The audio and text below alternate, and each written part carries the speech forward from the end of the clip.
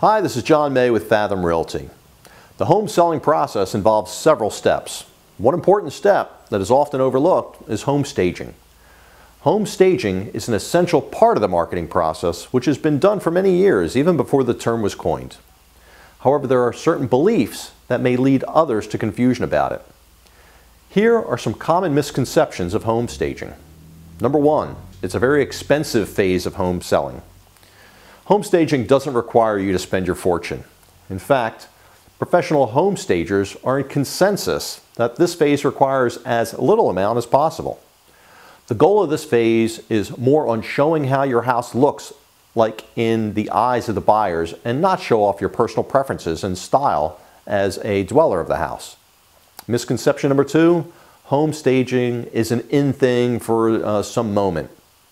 As what has been said earlier, home staging is a process that has been around for many years, even before the term came into existence. Therefore, it's not a fad or an in thing for an instance. It's to stay for many, many more years. It's not an ordinary principle which can be taken for granted. Doing so can harm your property on the selling list. It highlights the features of your house and makes them noticeable to potential buyers. In fact, staging has been on the spotlight and has been one of the primary reasons why many homes are sold. Number three, home staging is synonymous with home decorating.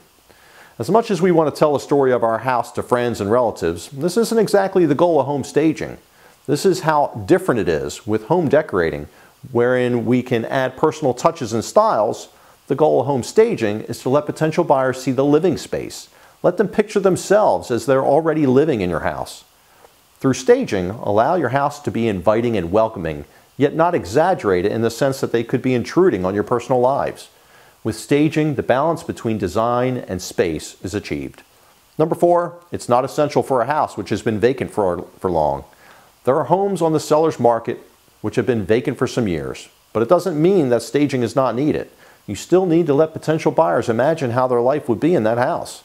Empty and dirty spaces would make the house feel cold and uninviting. Besides, a non-stage house creates the impression that the seller is desperate for furnishings and the house uh, into cash. Um, lastly, home staging is only done for large, expensive homes. No matter how big or small your house is for sale, it needs the help of home staging. There are just some of the myths associated with home staging. Eliminating them off of your system will help you make your home selling process more directed on the right path. For more information on how to sell your home for the most money and in the least amount of time, join me every Wednesday evening for my Home Selling Secrets webinar. You can register at www.freehomesellerswebinar.com. If you like my videos, subscribe to my YouTube channel and they'll be sent to you as they're posted.